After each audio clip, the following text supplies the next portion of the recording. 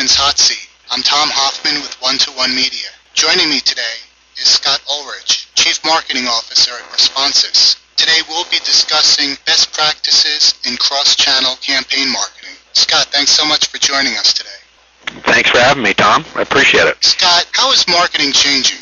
Clearly, I think marketing has changed forever. And I think the reason why marketing has changed forever is that consumer behavior has changed forever. If you think about yourself as a consumer, think about how often you actually read a newspaper, think about how often you actually pick up your physical phone. Those are just not behaviors that we're, we're doing anymore as consumers. But at the same time, on the flip side, if you really think about how often you're using email communicate, think about how scared you get when you leave your smartphone at home, consumer behavior has changed. And as a result, channel power and preferences have changed. If you think about historically, the killer outbound channels used to be around TV, radio, and direct mail for marketers, and with the goal of really driving people to the killer inbound channels, which really used to be around the call center or used to be about the store. But those channels won't go away, but if you think about the channels that consumers prefer today, these inter- more interactive channels, email, mobile, social, the web, the killer outbound channels are going to be more and more around email, and they're going to be about mobile. Inbound channels that they're going to be driving towards are going to be more and more about the website and about the call center. And clearly what you're seeing is that marketing's changed forever, and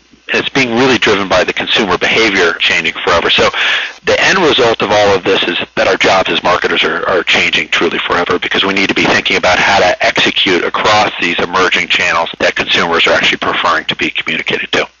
So then how are marketers adapting to the changing market?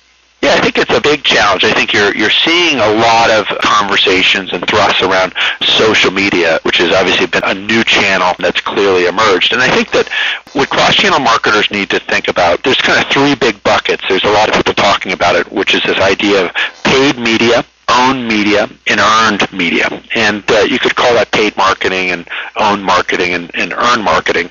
And I think it's a good concept for marketers to be thinking about, which is, hey, are you spending money to talk to an audience? Where are you actually owning media, where you're building your own database of customers across email, mobile, social, and the web, and these other channels where you can talk to them? And then who are the customers that you're actually talking to that are starting to refer your company to others? And so there's this new concept across these kind of three buckets. And I think the leading marketers are starting to kind of prioritize and capture the amount of marketing spend that they're doing. And, and so I think the key thing that cross-channel marketers are starting to do is start thinking about how do they actually start capturing permission. Because if you want to start to market to consumers through these key emerging interactive channels like email, mobile, social, and the web, in most cases they require permission to market to them. And so I think there's this whole emerging piece around permission and, and kind of this own marketing. Because if you want to start marketing to customers across the life cycle and you actually want to do it in a very systematic way, you need to be able to increase the amount of consumers that you have permission to to market to these channels. Otherwise, you're going to be spending most of your money on paid marketing. Interesting.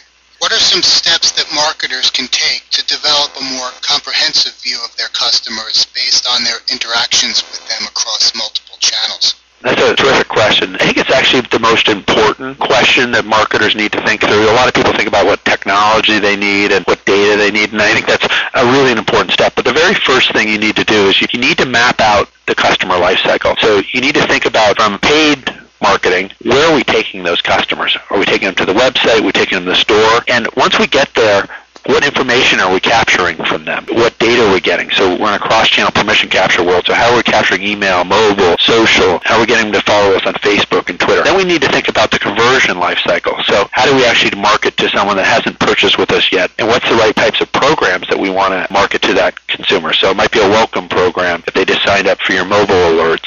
It might be a browse program based on what they're browsing on the website. It might be a, an abandonment program if they abandoned a mortgage application or abandoned, you know, a shopping cart on the website to try to drive that consumer to convert for the first time. And once they convert, how do we actually get them to keep repurchasing? So what are the things that are going to drive a second purchase like smart transactional programs and upsell programs? And, and then it goes beyond just trying to get people to repurchase. You actually have to start creating stickiness within your brand. So how do you do things like alerts? So if you're an airline, how do you promote service alerts to tell people if your flights are on time? How do you actually get people to rate and review the products and actually contribute content that can be leveraged not only on the website but also to get them involved and, and more ingrained with your brand? And then also, more importantly, start to get them to refer your products to others. And I think the next step is actually how you think about consumers that haven't purchased within a particular time window, this whole kind of win back part of the life cycle, and how do you actually get that consumer, I mean, what are the right campaigns and programs to get that customer to buy so you don't have to actually go back and spend paid advertising or marketing to get them back into the life cycle. And I think the last thing is,